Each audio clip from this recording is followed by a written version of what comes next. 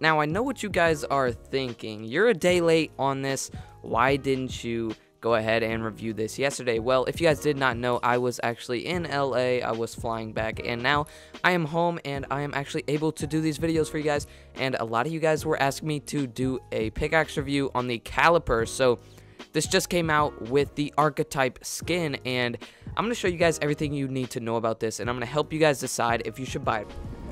Alright, like you guys already know, we're going to land down at the waterfall where we do all our famous pickaxe reviews, and if you guys do enjoy these pickaxe reviews, go down there and leave me a like, like I'm not joking.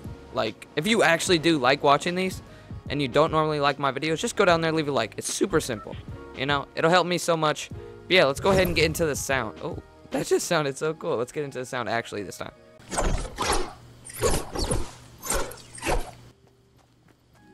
Okay, so the, like mind you, this pickaxe is uh, worth 500 V-bucks, so it is the cheapest of the pickaxes. And honestly, I think that sound alone is worth it. Um, I haven't even heard any other sounds. I want to see if you can hear the sound more than the tree whenever you swing at it.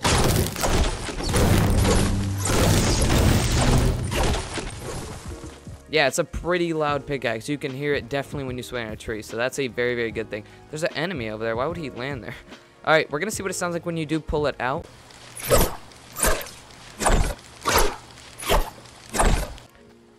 Okay, I'm confused. This has super cool sounds for literally everything. But literally, whenever like you use like say the candy axe, I know it's like it doesn't have any sounds at all. It's just the default sound.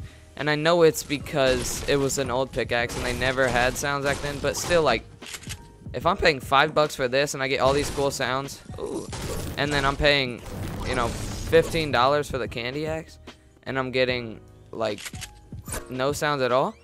I think this is definitely worth your money. We haven't even gotten into the downed opponent part yet.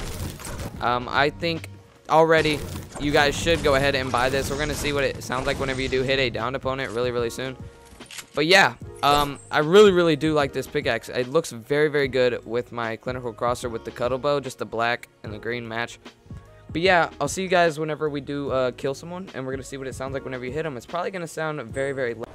Alright, here we go, guys.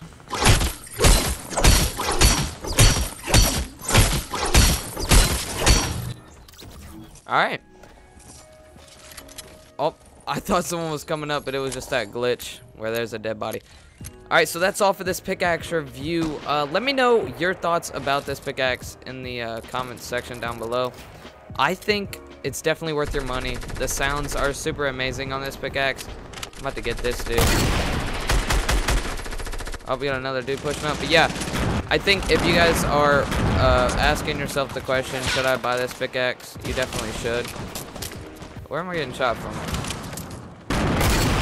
No. Alright. I'm to peace out of this game. I hope you guys enjoyed. If you did, as always, make sure you leave me a like and subscribe to my channel if you're new. But I'll catch you guys later. Peace out.